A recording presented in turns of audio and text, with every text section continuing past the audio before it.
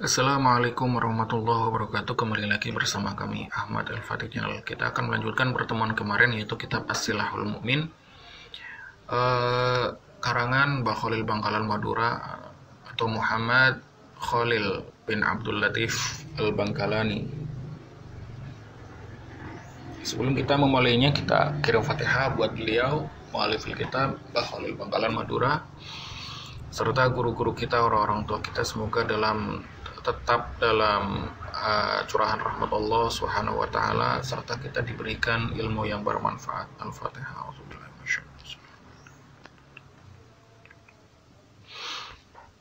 Bismillahirrahmanirrahim. Ma maksudu minan nikah? Apa tujuan daripada pernikahan?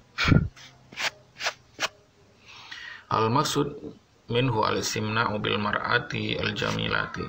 Tujuan daripada pernikahan itu bersenang-senang dengan perempuan yang cantik ya, dalam dalam jalur halal ya. Wal khudul basar amala yahilun nazar. Kemudian menjaga mata dari apa yang tidak dihalalkan untuk dilihat. Wal waladu sholih yad'u lahu. Kemudian tujuan dari perda pernikahan yang ketiga adalah anak yang soleh yang dapat mendoakan kepada orang tuanya. Kam arkanun nikah.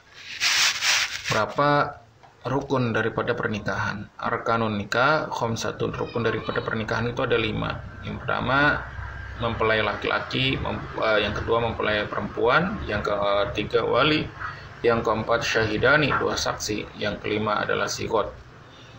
Kam syurut zauj. Berapa syarat seseorang itu bisa menjadi mempelai laki-laki ataupun pengantin laki-laki? Yang pertama syurut zauj, seseorang itu bisa menjadi mempelai laki-laki, itu ada lima, khomsatun. Ayaku nazakaron yakinan, dia itu harus laki-laki yang murni yang diyakini sebagai laki-lakinya.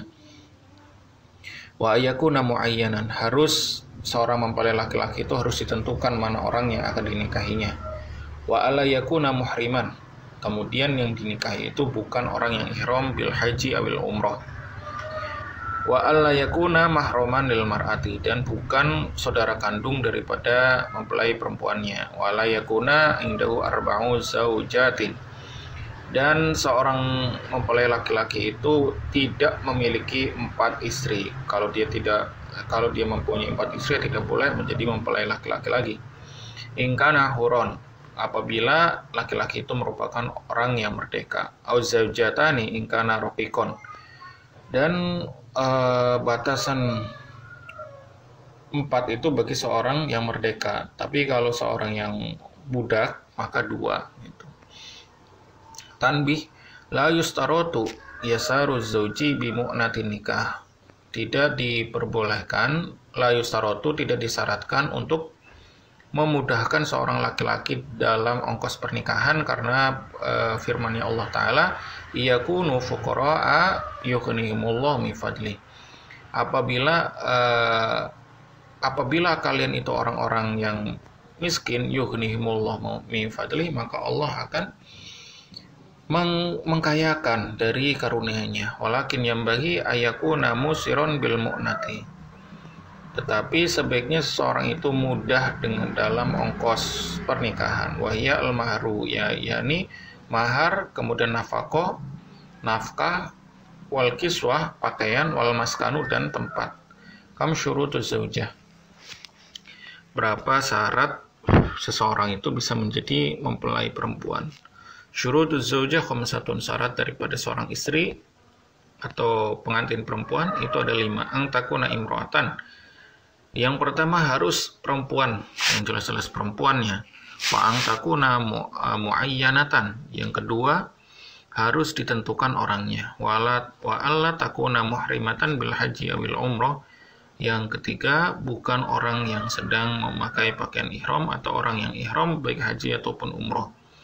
Wa alla takuna mahroman li dan bukan uh, saudara kandung daripada mempelai laki-laki wa alla tangkuna fi aidatin au fi nikah. Tidak dalam perempuan itu yang dinikahi itu bukan dalam masa idah ataupun masih dalam pernikahan ikatan pernikahan dengan orang lain gitu.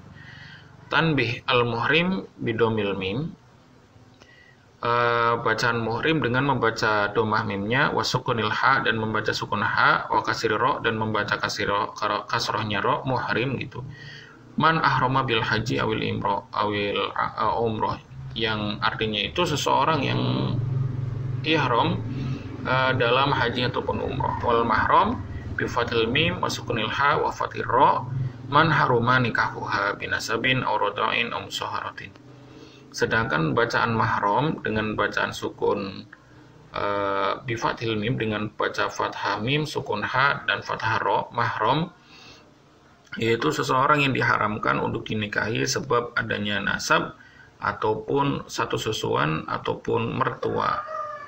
Kam syurutul wali, berapa syarat daripada wali? Syurutul wali khamsatun, syarat daripada wali itu ada lima. Ayakuna zakaron musliman, wa yakuna adilan, wa yakuna akilan, wa yakuna balihon, wa yakuna muhtaron. Syarat daripada wali itu ada lima. Yang pertama laki-laki yang muslim, yang kedua adil, yang ketiga berakal, yang keempat balik, yang kelima adalah tidak dipaksa. Manil wali, siapa itu wali? Al wali abul mar'ah yang di yang dijadikan wali adalah bapak daripada perempuan itu. Fajaduha apabila tidak ada baru mbahnya. Fa'akhuha apabila tidak ada mbahnya maka saudara daripada mar'ah. Minal abi yang satu satu kandung minal abi wal um yang satu yang yang saudara kandung yang bapak dan ibunya sama fa akhuha minal abi kalau tidak ada ya saudara yang masih satu bapak fabanu huma maka anak-anak daripada keduanya. Kadzalik fa'amuha begitu juga paman daripada mar'ah li abawa ini bagi ya kalau tidak ada gimana? Ya ya paman dari kedua bapaknya dari bapak dan ibunya maksudnya. Somali abin kemudian bapak Summa banuhuma kemudian anak-anak daripada keduanya kadzalik. Summal hakim kemudian hakim. Kalau tidak ada semuanya baru hakim. Gitu. wala wilayata lil ab'adi ma'a wujudil akrob. Tidak boleh menjadi wali seseorang yang uh, secara nasab lebih jauh ketika masih ada yang lebih dekat. Tanbih.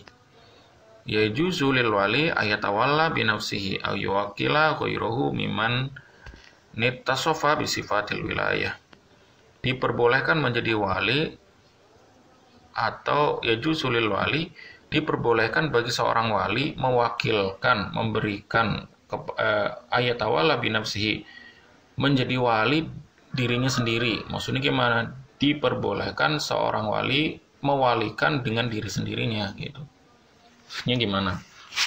Ya intinya seorang wali itu boleh menjadi wali dalam pernikahan dirinya sendiri gitu. Ayyuwakila khairuhu atau diperbolehkan juga seseorang itu mewakilkan kualiannya. Miman itasofa bisifatil wilayah dengan seseorang yang bisa disifati kewaliannya. Kam syurutu syahida ini berapa syarat daripada dua saksi? Syurutuhuma ka syurutil wali Syarat daripada syahidain itu seperti halnya syaratnya wali illa annahu yustarotu ayakuna sami'aini.